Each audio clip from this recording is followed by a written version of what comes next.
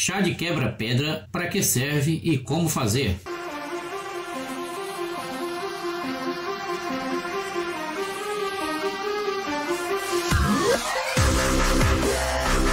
A quebra-pedra é uma planta medicinal que também é conhecida como pipinela branca, saxífraga, arranca-pedras, quebra-panela, konami ou fura-parede e que pode trazer alguns benefícios para a saúde, como combater as pedras nos rins e proteger o fígado, já que possui propriedades diuréticas e hepatoprotetoras. Além de também ser antioxidantes, antiviral, antibacteriana, antiespasmódica e anti-hipoglicemiante. O nome científico da quebra-pedra Philanthus niruri e ela pode ser comprada em lojas de produtos naturais, farmácias de manipulação e feiras livres. Para que serve? A quebra-pedra possui algumas substâncias como ligninas, vitamina C, terpenos, triterpenos, taninos e flavonoides, que são considerados potentes antioxidantes naturais. Por isso, a planta medicinal poderia ser utilizada para tratar e prevenir pois alguns estudos sugerem que o consumo dessa planta poderia prevenir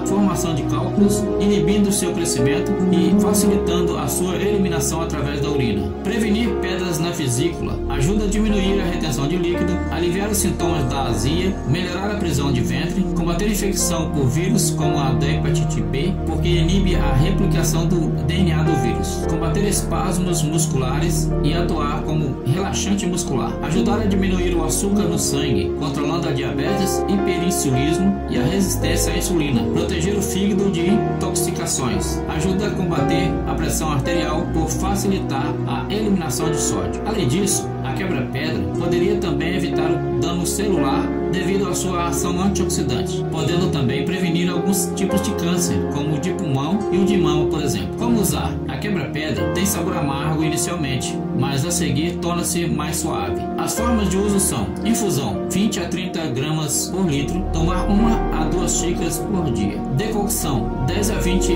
gramas por litro, tomar duas a três xícaras por dia. Extrato seco 350 miligramas até 3 vezes ao dia. O pó 0,5 a 2 gramas por dia. Tintura 10 a 20 ml, dividido em duas ou três doses diárias, diluídas num pouquinho de água. As partes utilizadas da quebra-pedra são a flor, a raiz e as sementes, que podem ser encontradas na natureza e industrialmente na forma desidratada ou como tintura. Como preparar o chá? Ingredientes: 20 gramas de quebra-pedra, 1 litro de água. Modo de preparo: ferver a água e adicionar a planta medicinal e deixar repousar por 5 a 10 minutos. Coar e tomar a bebida morna, de preferência sem utilizar açúcar. Quando não deve ser usada? O chá de quebra-pedra está contraindicado para crianças menores de 6 anos e para mulheres grávidas ou que amamentam, porque ela possui propriedades que atravessam a placenta e chegam até o bebê, podendo causar aborto. E também passa pelo leite materno, mudando o sabor do leite. Além disso, não se deve tomar o chá por mais de duas semanas seguidas, já que aumenta a eliminação de minerais importantes pela urina.